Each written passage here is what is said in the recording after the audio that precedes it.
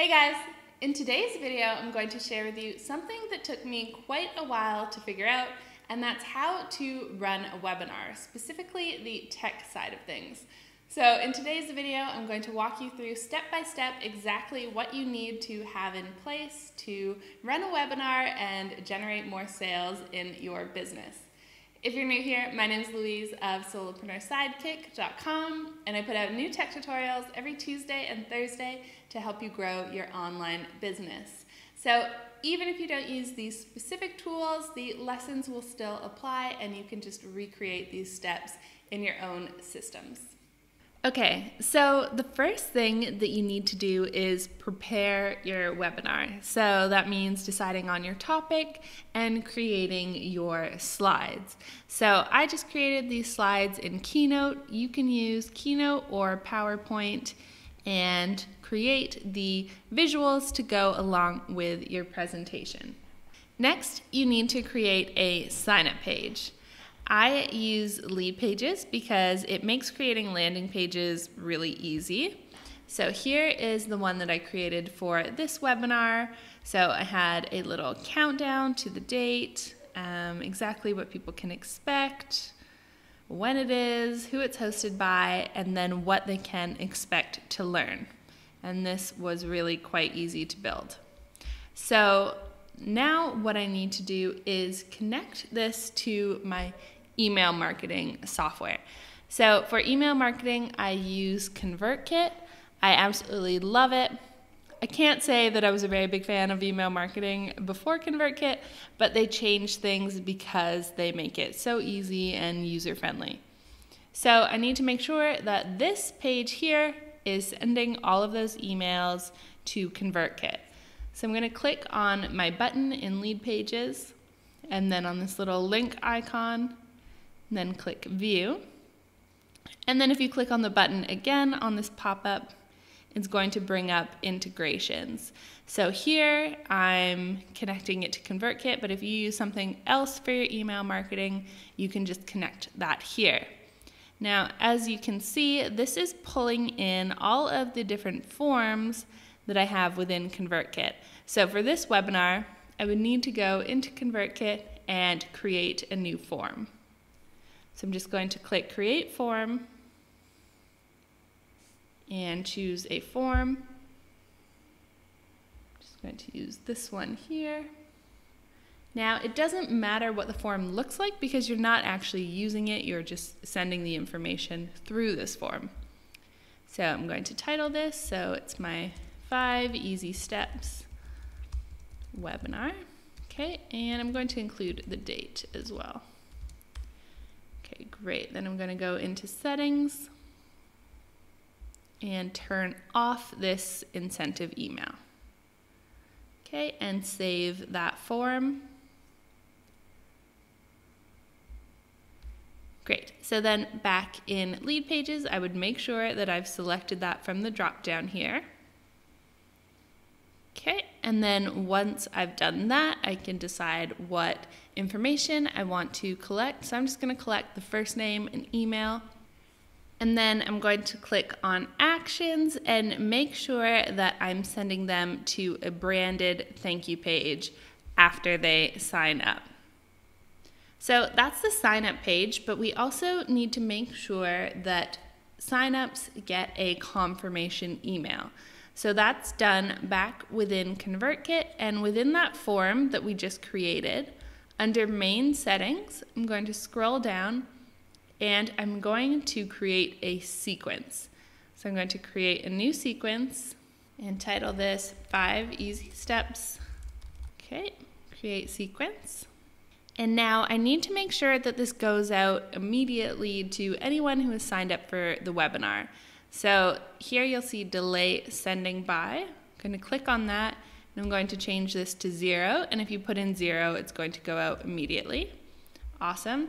And it would say something like you're in. And then here I would write my email letting people know that they are confirmed.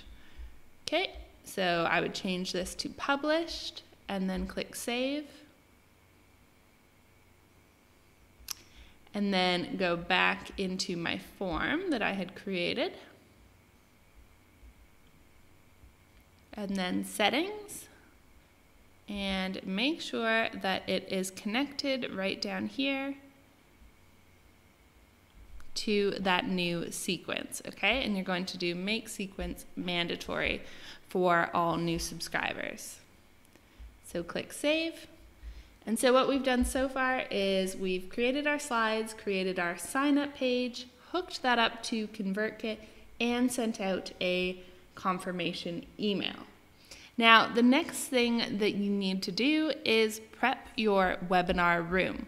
So for the actual webinar, I highly recommend using Crowdcast because I think it takes away all of the tech stress. I mean, obviously, you still have to get comfortable with it, but in comparison to other options, I think this is a really great one. So I'm going to click on My Events, and then I'm going to create New Event. And I'm going to title it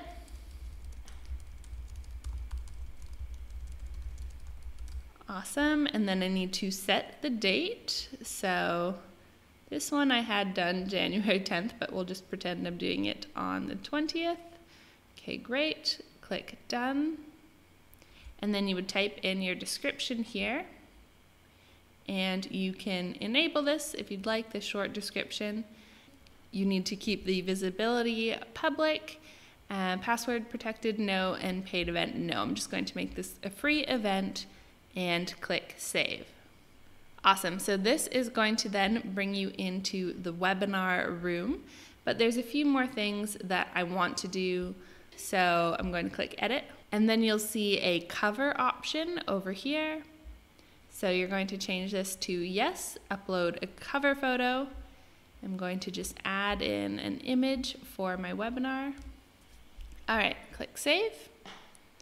And that's going to give you this image here, um, which will be the placeholder for the webinar room as well as what is visible on your registration page. So let me just show you that. So now you're going to go back into edit mode and you'll see registration and multi-streams. Don't worry about those for now. Click advanced and here you're going to get your URL for your webinar. You can also find it right up here at the top. And there's a few questions here that you need to answer. So whether you want to limit seats, I'm going to say no. Whether I want to accept contributions, I'm going to say no. Customize the registration button, no. The only two things I would say on here is to turn off the emails. So I just find it easier to keep it all in one place. So that's why I keep all my emails within ConvertKit. And then you can, if you want, hide your attendees and insert your Facebook pixel. But for now, I'm just going to click save. Great. So this is the webinar room. And when you are ready to go live, you're just going to click enter green room and run your webinar. But before we do that, we need to schedule emails to go out to everyone who has signed up and get them excited for the webinar and make sure that they actually show up live. So now we're going to go back into ConvertKit.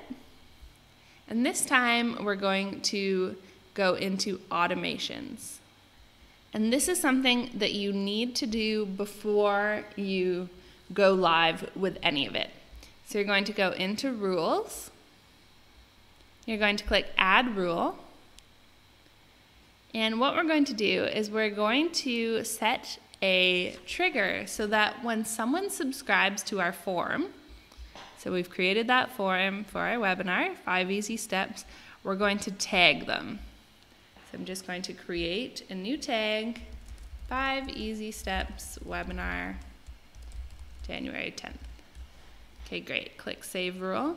So it's really important that whatever system you're using, that you make sure you tag people who have signed up because that means when we're sending all of our pre-webinar and post-webinar emails, we're only emailing the segment of our list who has actually signed up for that specific webinar. So now I'm going to go into broadcasts. So broadcasts are more like your regular newsletter or campaign in other platforms. So I'm going to click new broadcast. And this is where I decide who's going to receive this email.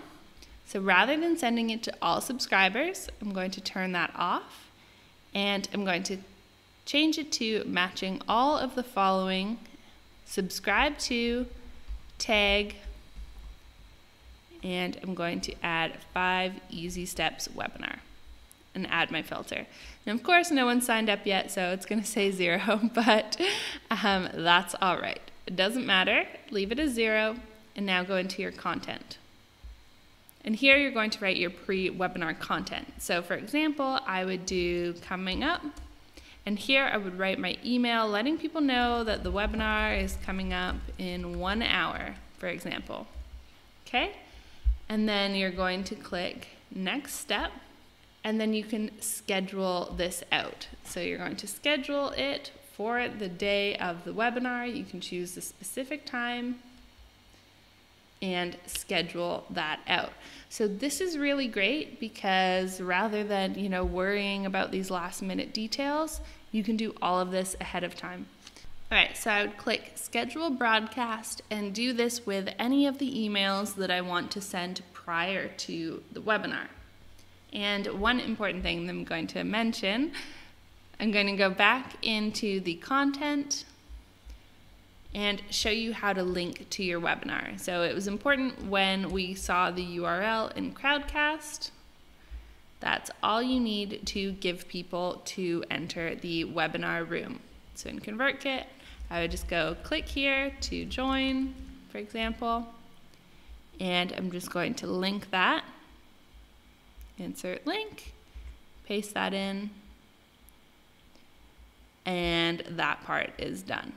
Now, there's also some emails that you're going to want to send after you've done your webinar, and I highly recommend that you schedule those ahead of time as well. So these will be simple broadcast emails again, and I'm going to turn this off and filter it out so that only people who have actually signed up for my webinar get it. So subscribe to that tag, content, and let's say that I wanted to share my replay. So here's your replay. All I need to do in order to do that is share the same link again. So I could go watch the replay here. And you can either just paste it in just like that, or you can do what I did in the previous email and create a link. So highlight, create this little link icon, click on that and click save. Okay, and then you would go preview and you would schedule this to go out after your webinar has happened. So after this, all that's left is to run the actual webinar and you know the day of you can focus on actually practicing it rather than worrying about the tech pieces. So I'm just going to quickly recap what we did. We prepped your webinar by creating slides in Keynote. And then we went into LeadPages and created a sign up page. And then we made sure that this sign up page was hooked up to our email marketing system and that we created a branded thank you page. After this, we made sure that people automatically got a email confirming that they have signed up for the webinar. And we did this by creating an immediate email sequence in ConvertKit. After this, we prepped our webinar room and got that ready to go. And that's in Crowdcast. As you can see, it's been scheduled already and they're giving you a countdown to the webinar here. Next, we went back into Crowdcast and by using the broadcast feature, we scheduled all of the pre-webinar emails and all of the post-webinar emails. And if you're using Crowdcast, it's really great because your link to the webinar and to the replay is the same. So you can do all of this ahead of time. And then you just have to run your webinar and make sure that you celebrate after you've done all this with a glass of wine. All right, that's it for this video. I hope that you learned a lot. Remember, if you have any questions at all, just leave them for me in the comments and I will get back to you there or I will make another video. Thanks so much for watching. Make sure that you hit subscribe, and I'll see you guys soon with another video.